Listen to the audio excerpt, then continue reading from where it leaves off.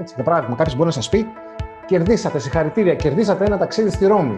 Κάποιος μπορεί να πει: Πω, πω ταξίδι στη Ρώμη. Ιταλοί, Ιταλίδες, πίτσα, πάστα, προσούτο, κρασάρες, κολοσσέο, αγορές, ψώνια. Ζωάρα, γουστάρο. Ένας μπορεί να πει: Τι ταξίδι στη Ρώμη.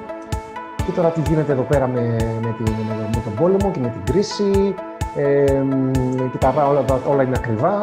Και θα πάω εκεί πέρα και οι Ιταλοί μιλάνε γρήγορα αγγλικά, πώς θα συνοηθώ.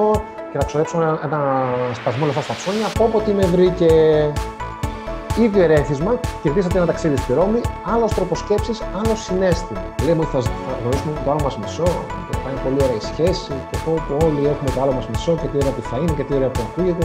Δεν είναι πραγματικότητα έτσι. Η πραγματικότητα είναι, λέμε ότι το μόνο που μου λείπει είναι ο κατάλληλος άνθρωπος. Όλα θα είναι εντάξει και τον κατάλληλο άνθρωπο να γνωρίζω και όλα θα πάνε εντάξει. Τι ωραία. Είναι μεγάλο βάρος όμως έτσι να αναφορτώνουμε το βάρος της ευτυχίας μας σε έναν άλλον άνθρωπο. Άρα, δηλαδή, εγώ ε, έχω πρόβλημα, δεν είμαι καλά, αλλά άμα βρω και μια σχέση, τότε θα είμαι καλά. Και τον φορτώνω τον άνθρωπο με το βάρος της ευτυχίας μου. Είναι πολύ σκληρό πράγμα το κάνουμε τόσο κάποιον άνθρωπο.